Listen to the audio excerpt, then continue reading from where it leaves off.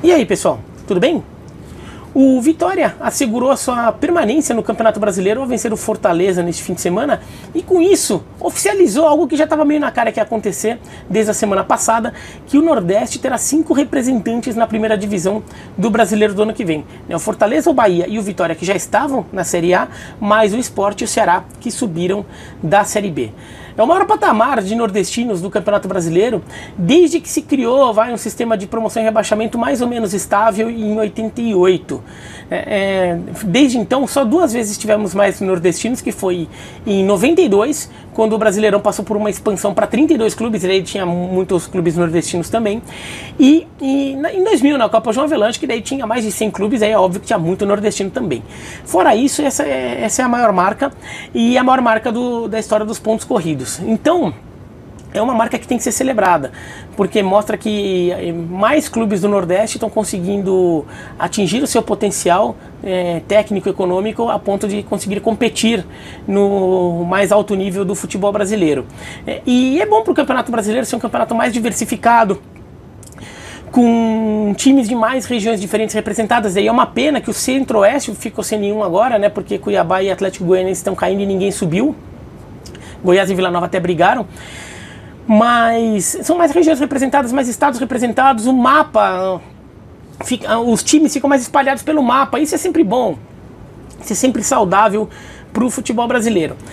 Agora, uma coisa que não tem chamado tanta atenção assim e que merecia alguma consideração é o, o resto do Nordeste, do futebol nordestino porque temos cinco na Série A e é ótimo que esteja nesse patamar. Deveria ser um patamar meio que mínimo, assim. Se alguém cai, alguém sobe. De repente ninguém cai, mais gente sobe. Até dá uma aumentada ali. Mas assim, não, não baixar disso. Mas ao mesmo tempo que temos cinco na, na Elite, a gente só tem um nordestino na Série B agora, que é o CRB. Né? Independentemente de quem cair, ainda não, não foram definidos todos os rebaixados da, da Série A, não, não vai cair nenhum nordestino. E, e só um sobrou na Série B, o CRB, que é o clube que está mais tempo na segunda divisão de todo o Brasil. Nenhum está há tanto tempo na, é, na segunda divisão, é, empacado na segunda divisão, quanto o CRB. É, e o CRB que é, fez uma boa Copa do Brasil, fez uma ótima Copa do Nordeste, chegou até a final da Copa do Nordeste, perdeu essa final para o Fortaleza só nos pênaltis e ainda assim o CRB quase foi rebaixado para a terceira divisão do brasileiro. Né? Teve uma campanha muito difícil para fazer. E daí, se a gente vai na série e fala, ah, mas teria mais gente, tudo tem, tem gente para burro, tem time para burro no Nordeste para subir. Vamos para a terceira divisão. Olha quanto nordestino tem na terceira divisão, na série C. E alguns deles, pô, tinham, tinham que no, no mínimo tá na B, né? É, alguns times até com, com passagem em série A não faz muito tempo. Alguns foram frequentadores assíduos de série A, como o Náutico, mas no mínimo na B deveria estar, né? Então vamos lá, ó. Na, na Série C, a gente tem o Botafogo da Paraíba, a gente tem o Náutico e o Retrô de Pernambuco, temos o Floresta do, do Ceará, esse aí sim é um clube menor, assim, que tá, tá talvez esteja no seu teto ali em relação à projeção nacional, né? O, o Itabaiana, que veio da D, deste ano, né? Então jogará a Série C do ano que vem, Itabaiana e Confiança é, do Sergipe, o CSA de Alagoas, e mais o ABC de Natal. São oito times nordestinos na, na Série C do Brasileiro. E nenhum, alguns até estão vindo da segunda da, terceira, da quarta divisão, desculpa, alguns estão vindo da quarta divisão, como o ABC e o Retrô, como o, o Itabaiana e o Retrô. Mas nenhum deles conseguiu subir para a Série B. E alguns até tiveram na Série B recentemente caíram. O caso do ABC, né, caiu no, no ano passado. O, o, Náutico é um time que tanto tempo em Série A, inclusive, não, não tá, tá empacado na C não consegue sair dali. Confiança este, esteve na Série B não faz muito tempo, né, e, e, e caiu. O CSA esteve na Série A não faz muito tempo, foi parar na C, é, até, até deu susto na C deste ano, mas ficou na Série C. Né? Então você vê como tem muito time nordestino. E se a gente for para a Série D, os times que, ou que não estão nem na Série D, mas os times que não estão nem em nenhuma das, das, das, três principais divisões, a gente ainda tem muito clube nordestino com potencial para estar tá pelo menos na B. A gente vai ter o Santa Cruz de, de Recife, que é o time que mais vai chamar atenção, né? Santa Cruz em Pernambuco, mas tem o América de Natal, vai ter o Sampaio Correia, que esteve tantos anos na Série B, lutou para subir para a Série A em alguns anos, é, acabou caindo né, neste ano da Série C para a Série D. Então, Sampaio Correia do, do, do Maranhão, o Sergipe, que até está tentando é, é, melhorar um pouco, né, se, pelo menos se equiparar ao Confiança na projeção nacional, né, o Confiança aí passou em Série B, o Sergipe não está nem conseguindo chegar na C. É, o Sergipe que até fez jogo duro com o Botafogo não faz muito tempo em Copa do Brasil.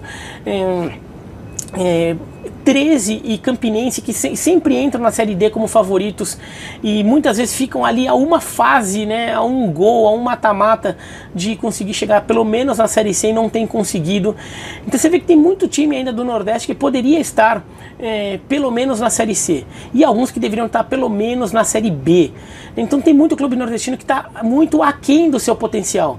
Então se a gente celebra os cinco que estão na Série A e como ó, cada um com a sua fórmula, alguns até mais organizados do que outros, né? O, o Vitória, por exemplo, como gestão ainda está tá uns passos atrás de, por exemplo, do, do, do Fortaleza. O Bahia virou SAF, cada um está com a sua receita. Mas o, os outros não estão conseguindo chegar perto do seu potencial, porque o potencial de vários deles seriam na Série C e eles nem na C estão, e alguns seriam, o potencial deles seria chegar na Série B e nem na B estão. Então, o que está que que tá faltando para alguns desses clubes do Nordeste conseguirem mais espaço? E como eles poderiam, de alguma forma, tentar aprender um pouco com, com, com o que os seus vizinhos fizeram para conseguir crescer? Aí a gente tem algumas questões, né? o, o o Fortaleza, por exemplo, virou um exemplo assim por, por estabilidade de projeto esportivo. Né? Claro que tem uma estabilidade de projeto econômico, isso ajuda bastante, mas tem uma estabilidade de projeto esportivo. E isso fez com que o, o Fortaleza, que estava ficou tantos anos na C, muito abaixo do seu potencial, conseguisse virar um, um time forte da Série A. E até um time com campanhas continentais relevantes, né?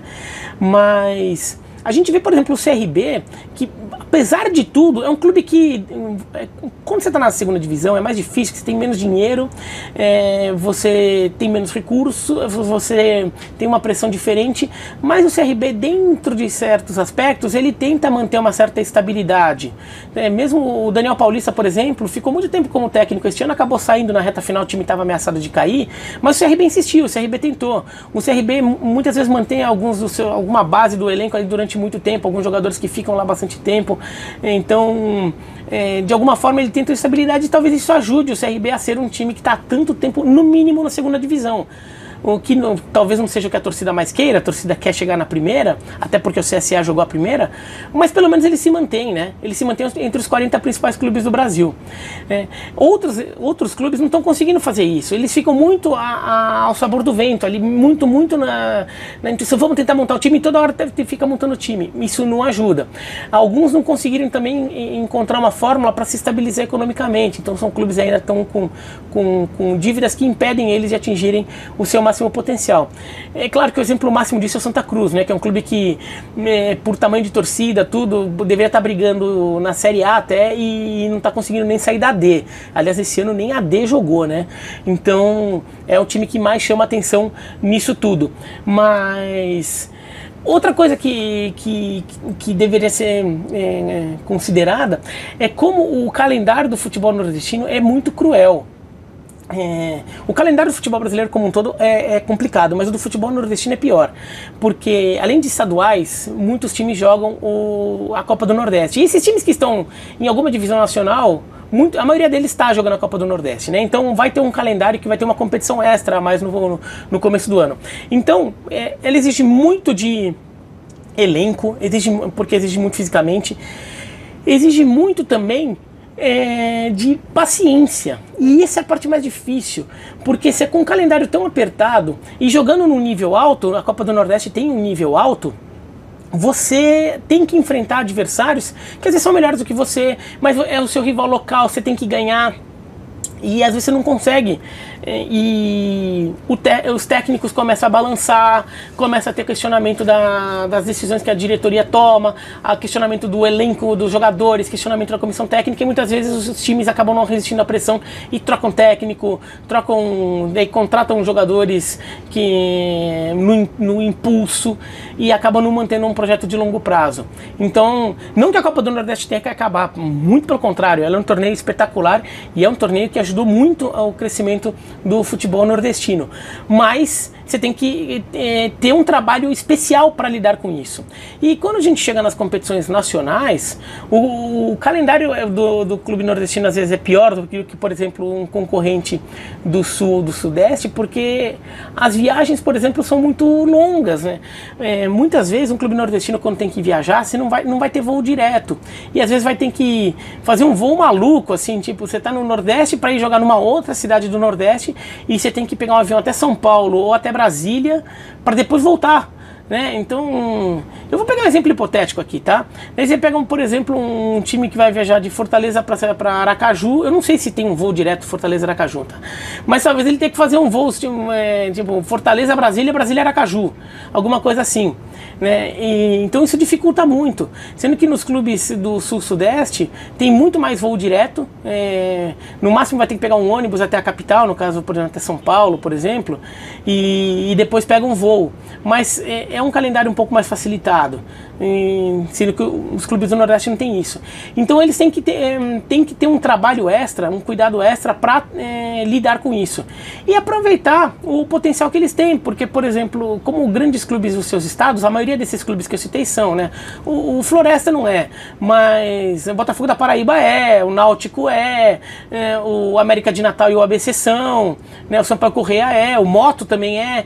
Então, assim, como os grandes, grandes clubes conseguem aproveitar ao máximo os recursos que tem é, dentro do seu estado, da sua cidade, como é, atrair o torcedor, né? Porque você é o que você é o, é o time responsável por trazer futebol ali para sua cidade, para o seu torcedor ali.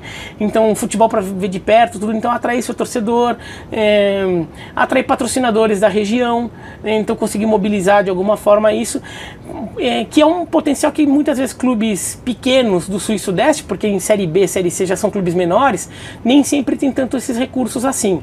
Além de tudo, você está numa região que você consegue, é, por exemplo, trabalhar a categoria de base. Se você fizer um trabalho, uma estruturação de, é, do seu departamento de base, você consegue é, ter uma rede ali de olheiros que consiga captar talentos que surjam na sua região com uma eficiência maior do que clubes de outras regiões tendo que buscar jogador no Nordeste, o que acontece até, o que acontece. Né? Mas esses clubes eh, têm que se tocar um pouco disso, de que é preciso trabalhar é, e entender como trabalhar na realidade de um clube nordestino, que é diferente. Que é diferente. Acho que o Fortaleza e o Ceará, principalmente, aprenderam isso. O Vitória, que era um clube que sempre ficou em Série A, Série B, caiu para C, quase caiu para D, e teve que aprender isso, aprendeu e está tá escalando o, o, a hierarquia do futebol brasileiro de novo. Então, acho que os outros clubes tinham que, que aprender um pouco isso, é, entender o que, que alguns deles fizeram, para tentar chegar perto disso porque ao mesmo tempo que é legal ter cinco nordestinos na Série A, é muito ruim só ter um na Série B. É muito pouco. Né? O futebol nordestino tinha que ter muitos representantes na, na segunda divisão do Campeonato Brasileiro. Tem time com tamanho, com torcida, com potencial, com história, tradição para isso. Né? Mas são maiores até do que muito clube que tem jogado Série B com frequência nos últimos anos. Né? Mas eles não estão conseguindo sair dali, precisam entender ali os passos que estão faltando para isso. Mas é isso, então se gostou do vídeo, joinha, não gostou, joinha para baixo, se inscreve aqui no canal da ESPN Brasil, clica no sininho para receber notificação e salva aqui a playlist, tá com o livro Falo de Futebol Nacional toda terça e toda sexta-feira, tá bom? Tchau, tchau.